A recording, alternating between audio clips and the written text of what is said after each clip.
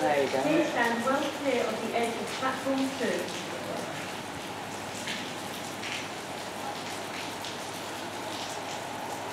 Oh,